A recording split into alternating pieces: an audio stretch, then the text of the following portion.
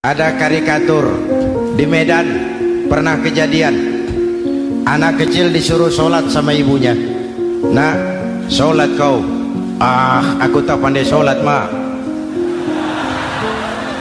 Si ucok rupanya ini. Kata ibunya sudahlah, kau ikuti saja bapakmu tuh. Apa yang bapak mau kerjakan kau ikuti sajalah. Jadi lama, kalau ikut saja bisa laku. Berangkatlah anak ini kan, sholat di belakang bapaknya jadi makmum.